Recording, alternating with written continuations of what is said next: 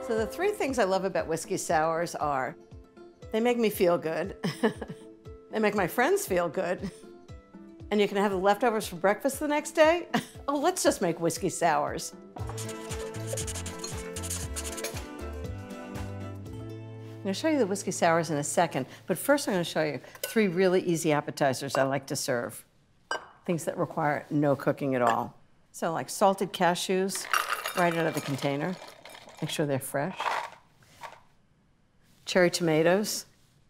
I remember going to a hotel in Italy where they served these with drinks. It was like little potato chips and nuts and olives and really simple things, but in really pretty silver bowls. Makes it look very elegant, and it takes no time at all. Slices of good salami. Okay, those are the hors d'oeuvres. I mean, that's it. Okay, let's make some whiskey sours. So I make them in a pitcher. I hate recipes for cocktails one at a time. I always make a whole batch, because that's the whole point. You want to drink it with your friends. So the first thing I have is fresh lime juice, half a cup It's got to be freshly squeezed juice. Makes all the difference. No sour mix here. Half a cup of freshly squeezed lemon juice. Lots of bourbon. Three quarters of a cup. I know it's a lot of bourbon. These are really good whiskey sours. I think I got a taste for whiskey sours when my father used to have them in the 50s.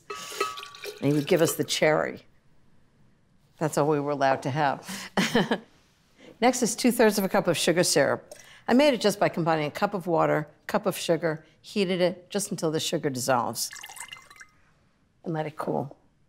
Okay, give it a big stir. This makes about four drinks. Now the key to this is the ice. So I've got a cocktail shaker clear the decks. I'm gonna fill it like two thirds full with ice. The ice is actually incredibly important in a drink. How you dilute the drink makes all the difference in how it tastes. I learned it from a bartender in California. So fill this about two thirds full, pour in the drink. And it's important that the cocktail mixture is at room temperature. If it's cold, it won't dilute as much. Oh, got it.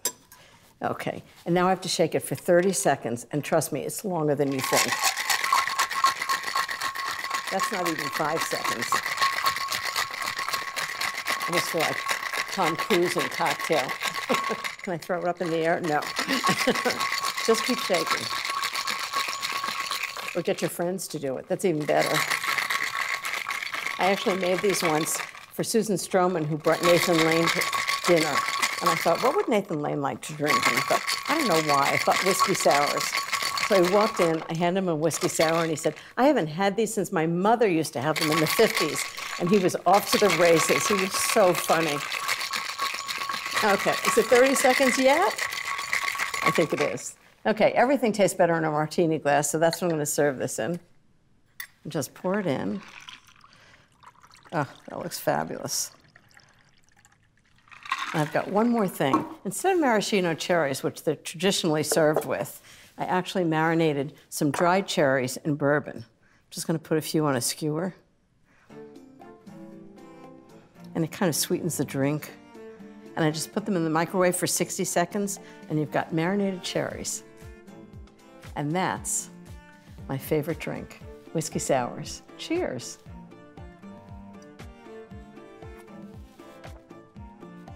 Wow, that's good. This recipe and more can be found in my book, Barefoot Contessa at Home, or at barefootcontessa.com.